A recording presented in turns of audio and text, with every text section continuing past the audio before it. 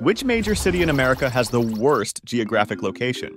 Without a doubt, it's New Orleans and its metropolitan area. In the next 50 years, it could almost vanish from the map, and the reason is water.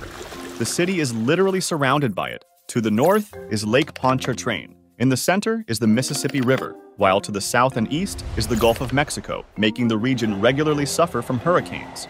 What makes matters even worse, about 65% of the city is located below sea level, and in some places it's up to 2 meters below. New Orleans is literally in a bowl that easily fills with water during any serious flood. Without constant human intervention, with authorities investing billions of dollars in building levees and pumping stations, this city wouldn't even exist today. So why was it built here? The thing is, at the time of the first European settlers, the French were the first to realize the strategic importance of this place. This is where the main waterways meet, covering what are now 31 states and connecting the center of North America to the sea, giving complete control over trade.